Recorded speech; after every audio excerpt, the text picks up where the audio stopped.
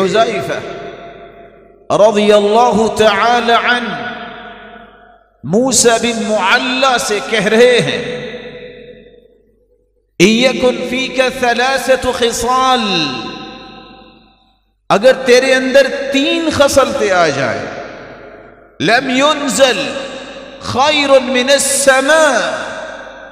کوئی بھی خیر جو آسمان سے اترے گی تیرا حصہ اللہ جلال اس میں ضرور رکھیں گے۔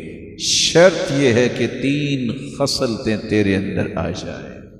پہلی خصلت، اخلاص العمل للہ۔ اللہ ذوالجلال کے لیے اپنے عمل کو خالص کر لو۔ اپنی نیت کو، اپنے ارادے کو خوبصورت بنا لو۔ وَتُحِبُّ لِلنَّاسِ مَا تُحِبُّ لِنَفْسِكَ۔